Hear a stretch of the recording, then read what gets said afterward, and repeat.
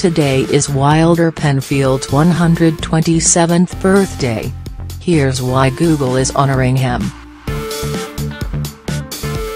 Friday's Google Doodle celebrates the birthday of Wilder Penfield, a scientist and physician whose groundbreaking contributions to neuroscience earned him the designation the greatest living Canadian. Penfield would have turned 127 today.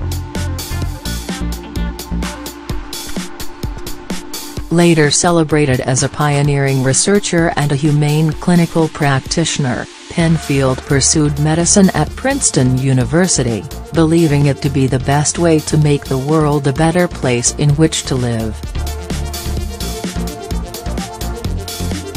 He was drawn to the field of brain surgery, studying neuropathy as a Rhodes Scholar at Oxford University.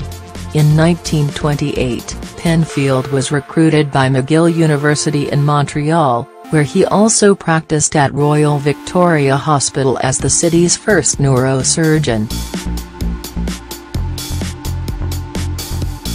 Penfield founded the Montreal Neurological Institute with support from the Rockefeller Foundation in 1934, the same year he became a Canadian citizen. Penfield pioneered a treatment for epilepsy that allowed patients to remain fully conscious while a surgeon used electric probes to pinpoint areas of the brain responsible for setting off seizures. The experimental method became known as the Montreal procedure, and was widely adopted.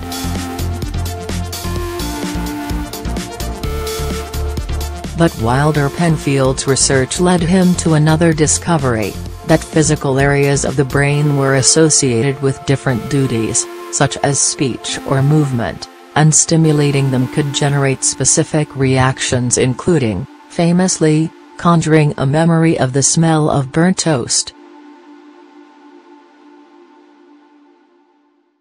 Friday's animated Google Doodle features an illustrated brain and burning toast.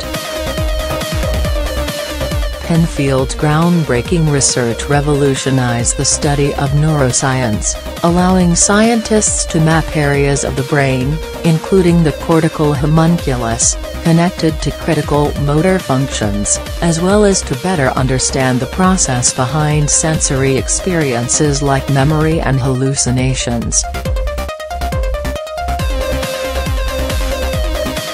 Dr. Wilder Penfield on March 28, 1967. In his later life, Penfield became an author and education advocate, and he was elected to the American Academy of Arts and Sciences in 1950.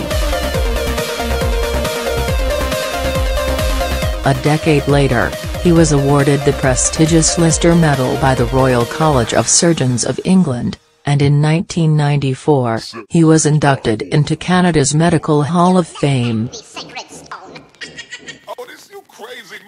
Penfield died of abdominal cancer in 1976, but his contributions to our understanding of the brain are commemorated in street names and academic institutions, as well as in science fiction. Dick's novel Do Androids Dream of Electric Sheep? Characters use the Penfield mood organ to call up emotions on demand.